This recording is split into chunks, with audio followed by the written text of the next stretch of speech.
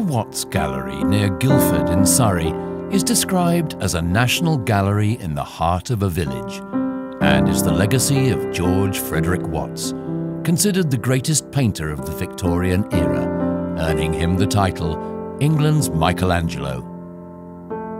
Watts at Dusk is a series of autumn soirees to link the community of artists and their families supporting the work of the Watts Gallery Trust.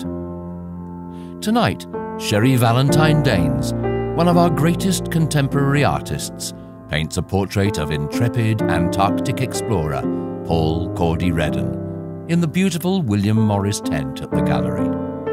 The painting will be auctioned to raise funds for the Transplant Links community charity as part of their Love and Life programme.